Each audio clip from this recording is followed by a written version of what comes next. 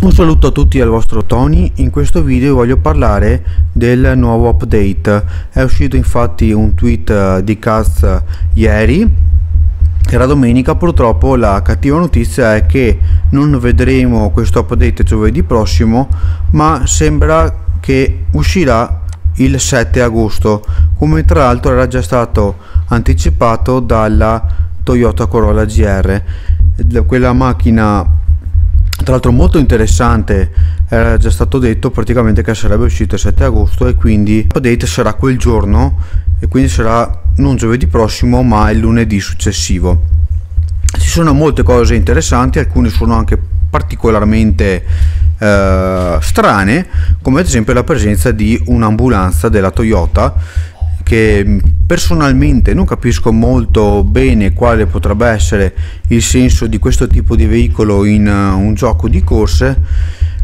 Potrei provare a pensare magari in futuro ad uno swap magari col motore della Toyota Supra per farci un progettino un po', un po mortale diciamo così un po' pericoloso un po' malavitoso eh, oppure magari per girare qualche scena per chi si diletta a fare qualcosa con un alto tasso di realismo eh, una gara in cui succede un incidente arriva un'ambulanza quindi potrebbe essere anche uh, un'idea per inserirla in qualche, in qualche clip in qualche, qualche video realistico diciamo così.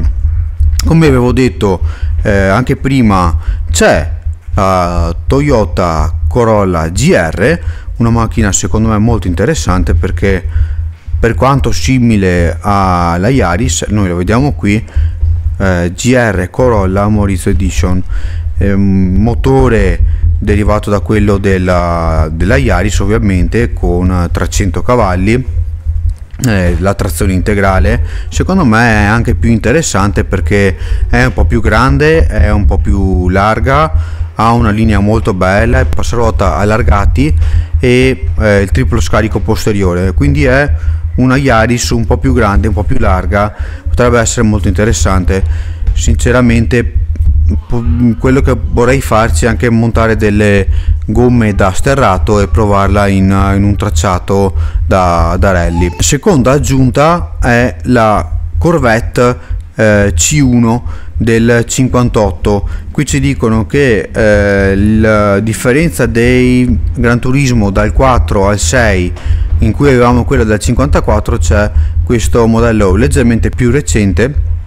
In ogni caso eh, è un'ottima aggiunta secondo me. Ovviamente non è un'auto ad alte prestazioni però è un modello abbastanza iconico e a suo tempo stiamo parlando degli anni d'oro dell'America gli anni 50 ha eh, veramente dato un'importanza alla, alla, Chevrolet ha dato veramente ridato lustro a questo, a questo, nome e quindi è stata importante veramente per la storia della, della Chevrolet questa Corvette.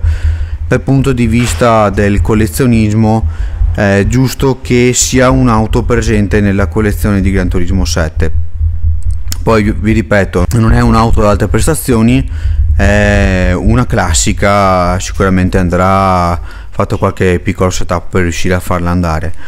Ultima ma non meno importante anzi secondo me la più interessante delle tre è la Maserati MC20 una vera e propria supercar della Maserati. È bellissima e tra l'altro manco fosse stato un segno del destino sabato il giorno prima dell'uscita del tweet mi è capitato di vederla in un bellissimo blu elettrico eh, per strada. È una supercar che sinceramente non vedo l'ora di provare anche perché la Maserati comunque è sempre stata celebre per le sue berline ad alte prestazioni. Pensiamo ad esempio alla Maserati 4 porte che è stata a suo tempo la la berlina più veloce al mondo, però questa è una, una macchina che è motore centrale, trazione posteriore, ehm, è molto più interessante secondo me dal punto di vista perché non è una berlina, è una vera, proprio, è una vera e propria supercar. Qui parlano di 620 cavalli, motore da soli 3 litri, twin turbo però V6, quindi potremo aspettarci veramente delle prestazioni elevate. Parliamo di un 3 secondi nel, nello 0 100 questa qui è quella che non vedo l'ora di provare per tutte. Secondo posto la Toyota.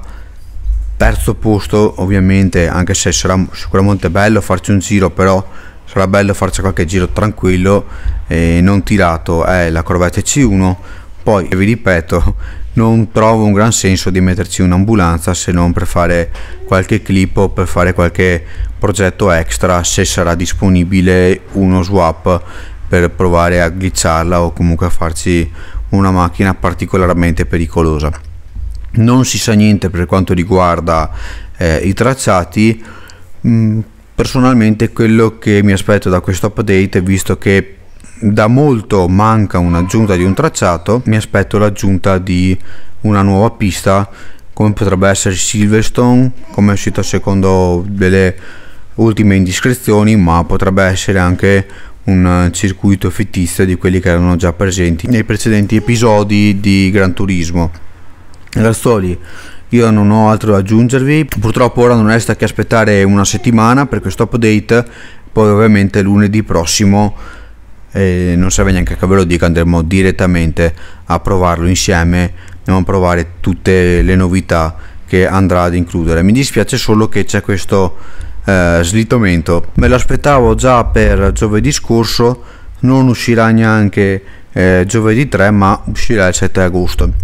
Comunque portiamo pazienza dai e speriamo sia una, un update all'altezza.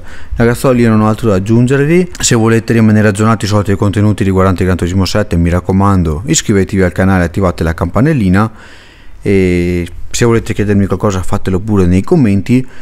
Mi raccomando non perdetevi gli episodi del Giro all'Inferno Verde dal martedì al giovedì e poi Ovviamente non perdetevi domenica prossima l'episodio 0 della nuova serie Tony Gear. E noi ci vediamo nel prossimo video ragazzoli, intanto vi mando un super salutone, ciao ciao da Tony89.